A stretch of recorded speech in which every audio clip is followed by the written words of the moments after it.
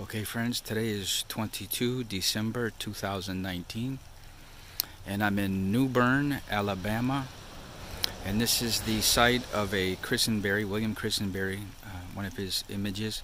It was called Horses and Black Buildings and in his lectures uh, he made some different, you know, he made various lectures throughout his life and one of them he mentions a Mr. Walthall. I believe this property was owned by a Mr. Walthall and he tells the joke of uh, the black paint. You know, he was in Ohio, I think, at Ohio State University one time lecturing, and he was showing his slides, and a student asked, "Why are the buildings painted black in such a hot climate?" And then Mr. Walthall, he said, "Well, when you have a lot of spare paint lying around, you use what you have." So the the buildings were painted black, but again, of course, in the in the summer heat, that would right absorb all the sun and make the buildings quite a bit hotter.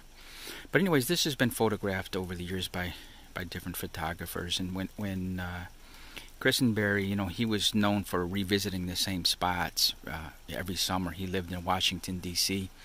and he would come back to Hale County, Alabama, just about every summer and rephotograph the same sites every year because he wanted to track the progress of the sites and see how the effect that time was having on the different structures and this is uh, this is one of the buildings here. And you can remember the horses were here in this open field. Another photographer came here some years ago and it was donkeys and now it's cows. So it's been horses and then donkeys and now cows. So it's kind of funny in a way that uh, even the animals are changing. Uh, the buildings are really no longer black. The black has just been faded by the sun. It's almost uh, a bare metal. Now it's it's a rust, kind of a rusty brown.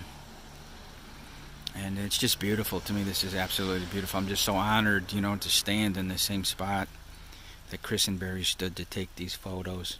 And a lot of his photos were here in Newbern. And Newbern is very small. So when it comes to like uh, density, you know, like photography density, you can get a lot of pictures here in Newbern and travel a very short distance. So if, if you want to come to one town that's very target rich for photography, it would definitely be Newbern. Okay, again, uh, horses and black houses, William Christenberry. Thank you.